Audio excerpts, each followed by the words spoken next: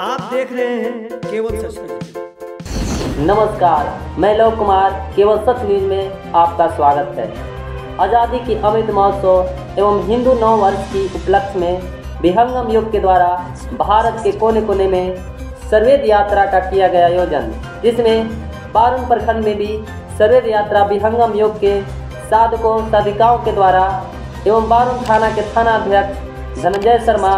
Barun block के BDO Ashutosh Kumar,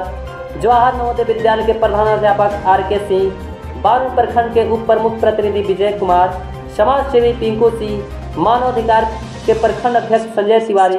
विहंगम योग के साधक डॉक्टर श्याम नारायण सिंह एवं सुनील संगम, पत्रकार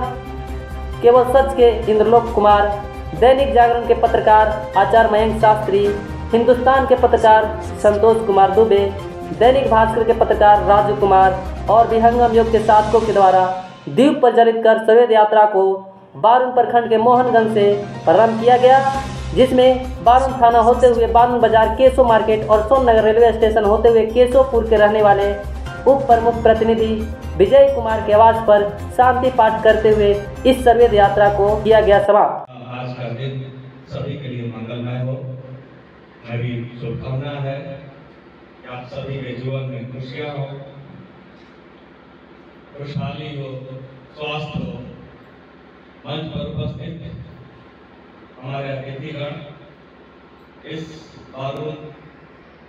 जैसा कि ये स्वरवेद के बारे में जो लिखा हुआ है, जो दिया गया मुझे स्वरवेद का मतलब जहाँ समझ आता है वेद का स्वर वेद क्या कहता है? उसे हम सभी को जानने का